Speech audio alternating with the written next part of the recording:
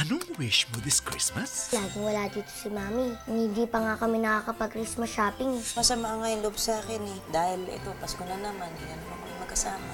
Feeling ko nga, mas gusto pa niya yung trabaho niya kaysa makasama ko. Don't worry. Sagot ng tablet ang iyong hiling. Kailangan ko po kasi makausap Mami ko eh.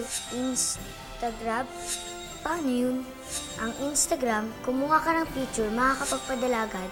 Paano naman ang Instagram? Once upon a time, Christmas tablet.